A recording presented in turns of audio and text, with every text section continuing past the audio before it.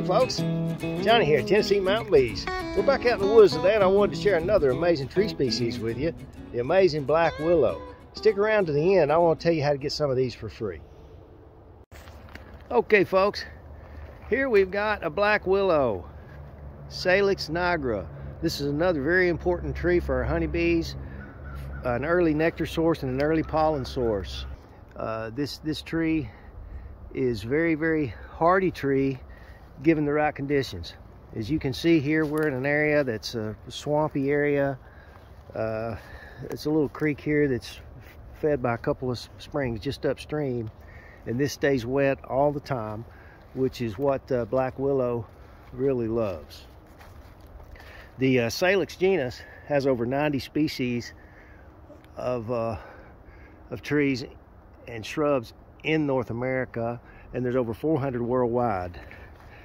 It is a dioecious tree, meaning that the uh, male and female flowers will be on separate trees. Uh, the it blooms early in the spring about the same times that the leaves come out and so as you can see it's this one isn't blooming yet there's several buds uh, it's behind it's behind red maple of course we the red maples are just now beginning to bloom out this has been a very important tree historically, medicinally. Uh, Native Americans and, and people all around the world have used the bark of this tree for thousands of years as a, a general painkiller. Uh, the bark contains salicylic acid, which is the basic component of aspirin. And this was synthesized in the late 1800s and is now pretty much made in the lab and not harvested from the trees anymore. However, it is really a good uh, painkiller for toothaches, uh, headaches, uh, inflammation, fever, and, and so forth. And typically you'll find these growing out in the open and they'll have a lot of branches low. This one's had to compete for sunlight a little bit more here. So there's not a lot, a lot of low branches. Uh, generally will have more of a more of a shrubby look. Here we've got another one. Uh, multiflora rose is kind of trying to crowd it, but as you can see, this is a little bit better example. There's a lot of a lot of limbs lower, a lot of those little fine, really flexible limbs. You can see a few of the, just a very few of those tiny lanceolate leaves that are left over from last fall. Those generally fall off pretty easy. But there'll be some additional stuff added onto this video uh, in the form of a of a small presentation that will show uh, the leaves and flowers in various stages of development of the tree. I also wanted to show you how to how to get some of this bark. You just see how this peels off. It peels off real easy. Get down to the cambium layer, about like this.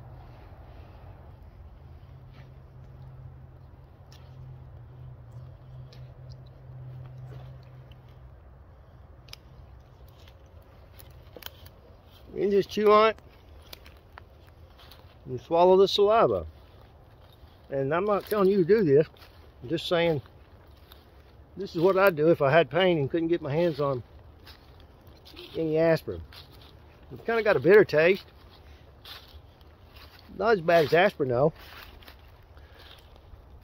But again, I'm not telling you to I'm not telling you to you to do that. It's just a common a, a very common method of uh, pain relief for uh, people for thousands of years.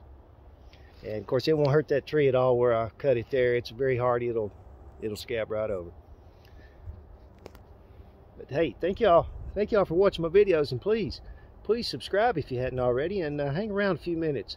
We're going to talk about some uh, more fun facts about the uh, willow trees, and as I promised, I'm going to tell you how to get some of these for free. Another important willow species is Salix discolor. This is a shrub willow, also known as pussy willow. They're not uh, native this far south. It's a very common species farther up north, uh, but it's doing really well here. This is uh, one that my wife picked up at a local garden center, and as you can see, it's already beginning to bloom out. I'm real eager to see how how happy the bees are with it uh, uh, this spring. Okay, folks, we're back again. Let's take a look at some pictures here of the black willow.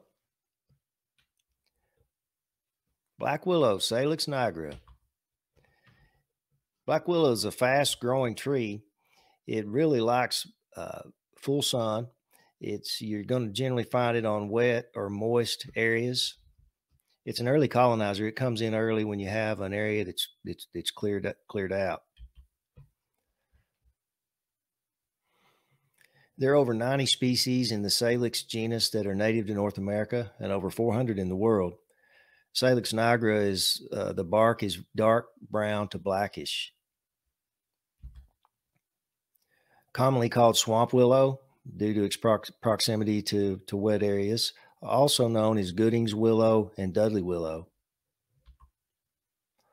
It, black willow typically flowers in February in the southern part of its range and uh, later on in the year, as late as June, uh, in the northern parts. Many insects visit this tree, but it's pollinated primarily by honeybees. The lifespan of the black willow is approximately 65 years, according to the USDA, but they can live up to 100 years or more. As we mentioned earlier, it's uh, another one of those important sources for uh, early pollen and nectar, uh, you know, to stimulate brood rearing, similar to red maple. It's a little bit behind the red maple. The red maples are just now beginning to bloom here, and as you as you saw earlier, uh, the the black willows are not yet. The leaves are simple and alternately arranged. They have a lanceolate form, and you can see the margins are are very finely serrated. The underside of the leaves are a lighter shade of green. Uh, this species can sometimes be confused with crack willow, which is an invasive species, uh, not native uh, to North America. They look very similar. The crack willow leaves are wider on the underside. Very similar characteristics as far as their benefits to our honeybees, though. So, in my view, it doesn't make that much a difference. The leaves are three to six inches long. It turns a golden yellow in the fall. It's, as we'd mentioned earlier, it's one of the earliest trees to flower in the spring. It'll it'll bloom along with uh, the leaves or just after the leaves come out. Black willow is a dioecious species meaning that the male and female flowers are on separate trees. You'll get uh, pollen from your male flowers and uh, nectar from both male and female flowers. And of course, the female flowers will produce the fruit later in the year. The, the fruit is a cone shaped seed pod, and those hang in catkins. When those open up in, in late summer, there's a bunch of little cottony seeds that, that, that come out and, uh, and those are wind dispersed. And I've pers- personally witnessed these uh, in the fall deer hunting, bow hunting, and you'll see these cottony seeds floating through the woods, just ever so easy, uh, uh, floating along the wind, just working their way through the trees. It's, it's pretty amazing. They can go long distances. And a little uh, deer hunter tip uh, you may already know if you see something like that floating around and circling around, and the wind's going different directions, you might as well go to the house because the deer are going to wind you for sure. Uh, when we look at a range map here, you can see how widely distributed the black willow is. Pretty much half of the North America here, or the half of the United States, um half of Texas, and then all the way up into Minnesota. We've got some out uh, out west to California, there Arizona,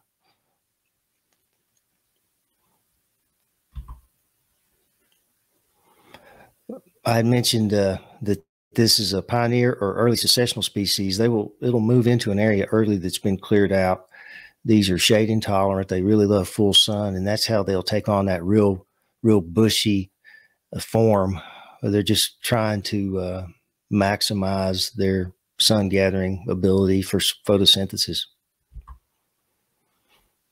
And uh, here's a section out of uh, Frank Chapman Pellett's book from 1920, American Honey Plants, one of the classics.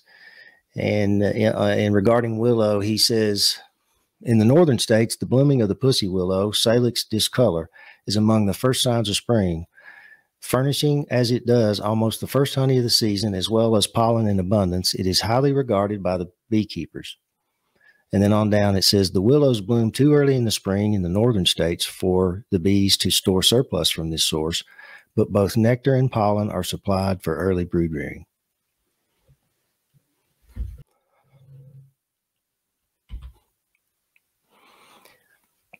And you can get yourself a free copy of Frank Chapman Pellett's book, along with many, many other beekeeping books that are now in the public domain.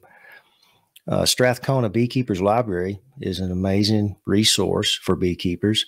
I'll put a link to Strathcona as well as a link to American Honey Plants, the PDF version, in the description of this video uh, for you to download it at your convenience. Black willow is an important species for a variety of different wildlife.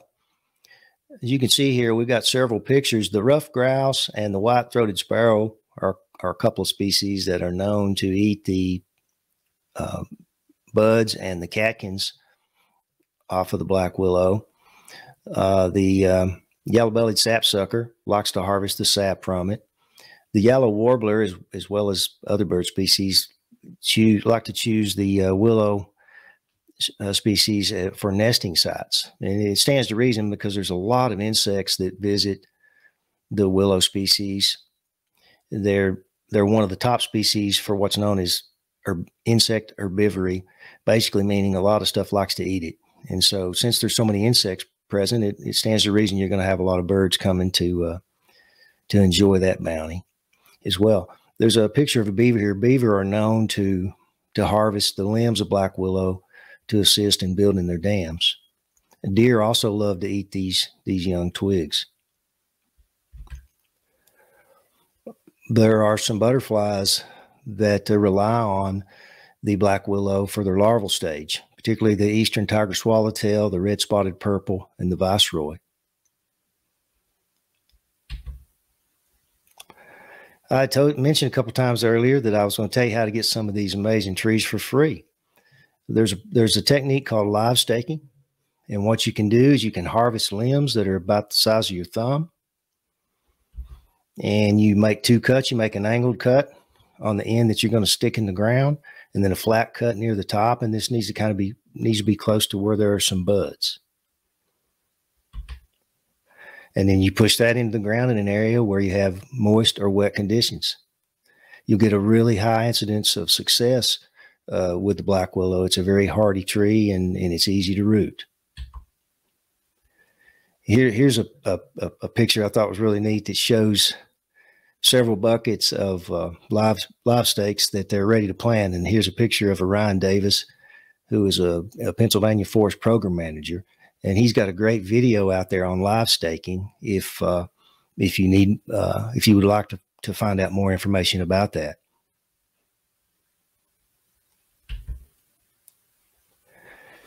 We had talked earlier about the salicylic acid that's naturally present in the willow species.